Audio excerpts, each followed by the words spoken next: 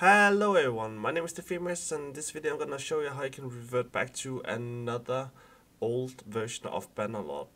If you maybe have some mods that are not compatible with the newest version, it's really nice to know so you don't have to halt your progress etc.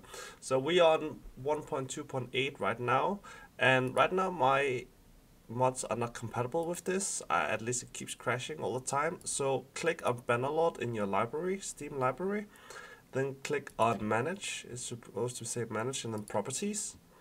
Go down to betas and up here you can choose which one you want to go. So this is the live one 1.28 and you can revert back all the way up to early access which is the first one here. So it goes from the oldest one to the newest one here. I need to get 1.15 to make it compatible with mine. So I click here and then it should download it uh, by itself.